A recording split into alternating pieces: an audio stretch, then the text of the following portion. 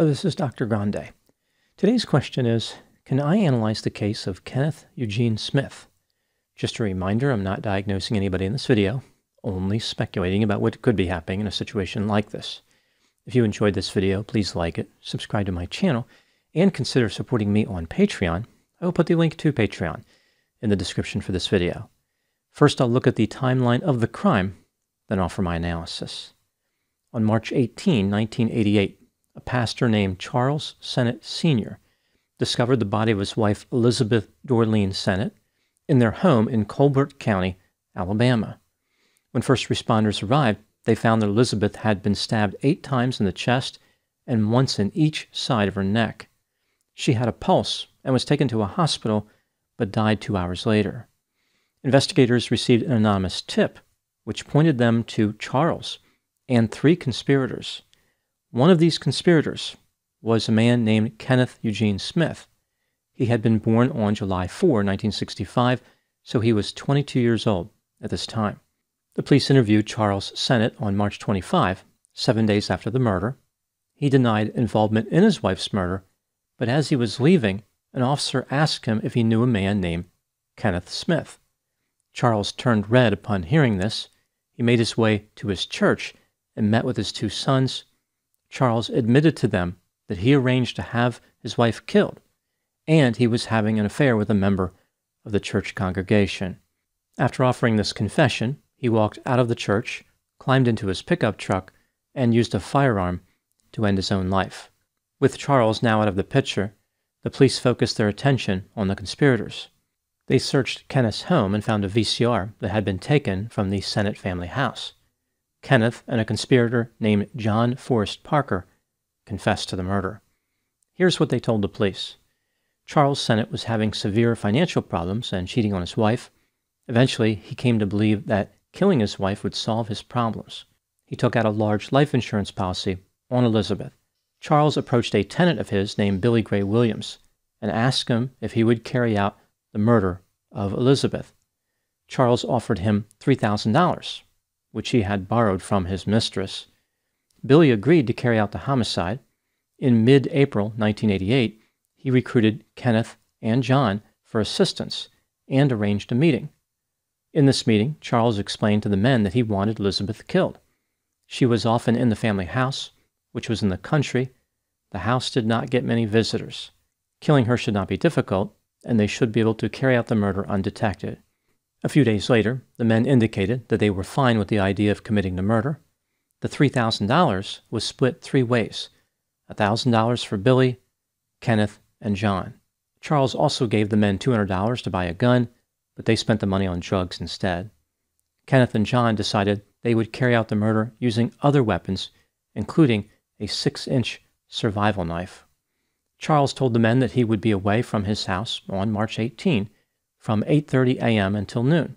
Kenneth and John made their way to the Sennett family house on that day, arriving at about 9:30 a.m. Kenneth knocked on the door and Elizabeth answered. He told her that her husband Charles gave him and John permission to look around the property to see about hunting on it. Elizabeth called Charles to confirm this arrangement and then told the men that it was okay to look around. The men then asked Elizabeth if they could use the bathroom. After entering the house, the men attacked Elizabeth by punching her, beating her with various items, and stabbing her. After mortally wounding her, they ransacked the house to make it look like a burglary. John Forrest Parker and Billy Gray Williams were both convicted in connection with Elizabeth's murder. John was sentenced to death. He was executed by lethal injection on June 10, 2010. Billy was sentenced to life in prison without the possibility of parole and died in November 2020. Kenneth Eugene Smith was convicted of capital murder. The jury recommended life in prison without the possibility of parole by a vote of 11 to 1, but the trial court overrode this recommendation and sentenced Kenneth to death. On November 17, 2022, the state of Alabama attempted to execute Kenneth. While trying to start an IV, they tortured him for an hour and a half by repeatedly stabbing him with needles. They stopped attempting to kill him at about 11:20 p.m. The execution was rescheduled, but this time the state was not going to use lethal injection. Rather, they selected a controversial method called nitrogen hypoxia. This execution method had never been used in the history of the United States. The lethal procedure involves a face mask, specifically a full face piece Type C supplied air respirator. This face mask is placed on the condemned inmate, and 100% nitrogen gas is pumped into the mask. Air is 78% nitrogen, 21% oxygen, and 1% other gases like argon and carbon dioxide. The absence of oxygen is what leads to the death of the inmate. In theory, the inmate is unconscious within seconds without the sense of suffocating. Asphyxiation occurs a few minutes later. On January 25, 2024, Kenneth Smith had his last meal, which comprised T bone steak, cheese covered hash browns, and scrambled eggs. Seven hours later, Kenneth was prepared for execution by being strapped to a gurney. His last words were, quote, Tonight, Alabama causes humanity to take a step backwards. Thank you for supporting me. Love all of you. Unquote. The execution procedure started at 7:53 p.m. The nitrogen gas was turned on at 7:57 p.m. Kenneth had a convulsion, thrashed violently on the gurney, and was gasping for air. He stopped moving at 8:08 p.m. and was pronounced dead at 8:25 p.m. Now moving to my analysis. Here are my thoughts on a few areas that stood out to me in this case. Item number 1. Many people are upset that the state of Alabama went forward with the nitrogen hypoxia execution. The authorities in Alabama tried to make it seem like everything went according to plan. A prison official claimed that the convulsion was normal and expected. He said that Kenneth's body reacted negatively to the gas because Kenneth held his breath for about four minutes. If he had breathed normally, it would not have happened. The official may not have considered that Kenneth didn't breathe normally because of the execution part. The state has this guaranteed painless killing method, at least according to them, but it can be upended by the inmate holding his breath. It seems like there's a flaw in their plan. The state attorney general claimed that the execution proved nitrogen hypoxia was an effective and humane method of execution. Despite what officials in Alabama say, the execution did not go as planned. Rather, it only amplified the concerns of those who opposed this execution method. The descriptions of the execution offered by witnesses paint a much different picture than what officials would have people believe. One witness described it as the most violent execution they had ever witnessed. Another called it a horror show. A religious advisor suggested that Kenneth was struggling for his life. Officials claim this execution method is painless because the inmate will be unconscious before they have time to sense being suffocated.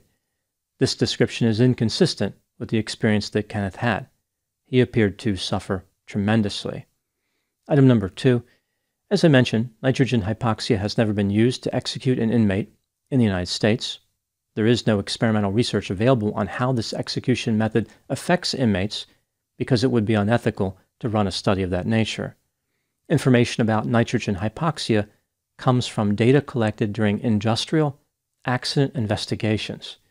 This method has been used to kill animals in the past, but due to symptoms like panic and distress, it is no longer used. So it's too distressing for animals, but Alabama is fine with the idea of using it to kill human beings. Item number three those who have concerns about the nitrogen hypoxia execution method are not opposed to it simply because they don't want any executions to occur. They are concerned about specific risks associated with this method. For example, if the face mask allows any oxygen inside, the condemned inmate will sense their own suffocation a failure to kill the inmate may leave them in a persistent vegetative state. The inmate could vomit, which could lead to asphyxiation. And if nitrogen were to leak, it could kill or injure prison workers. Experts working for the United Nations described nitrogen hypoxia as an untested method of execution, which, in addition to being torture, is cruel, inhuman, and degrading. Item number four Despite a lack of applicable research on nitrogen hypoxia, the state of Alabama was determined to push forward with the execution. They were not going to worry about constructs like science, logic, ethics, or compassion. The state just wanted to kill Kenneth Eugene Smith and open the door to execute other people who are awaiting the death penalty. Officials have deceived themselves into believing that research just isn't necessary or warranted when it comes to execution methods. they have demonstrated recklessness and overconfidence. In a curious twist, the state of Alabama in particular seems very interested in offering condemned inmates a choice of execution method. For example, nitrogen hypoxia, electrocution, or lethal injection. I imagine some type of poster hanging up in a hallway in death row that reads In this prison, we take pride in offering you many different execution methods to choose from. With so many selections available, it's hard to decide, but we really must insist that you do. Sign up for your favorite execution method today. Even without access to adequate research, Alabama officials assembled an experimental protocol for deploying the nitrogen hypoxia execution method. In the protocol, which ironically is long winded, there was a real emphasis on safety. It's extremely important that no one dies in the death chamber. Well, with one exception. Now, moving to my final thoughts. In terms of my personal beliefs, I don't like the idea of the death penalty, but from a scientific perspective, the firing squad certainly offers a faster and less painful death than nitrogen hypoxia. The research literature is fairly clear on this point. Those who oppose the firing squad method focus more on how it has been used in the past, such as in war crimes, than anything to do with the suffering of condemned prisoners. In addition, the firing squad doesn't disguise the brutality of execution. Officials in Alabama are trying to clean up the image of executions by making them appear to be painless and peaceful, but that's not how executions work.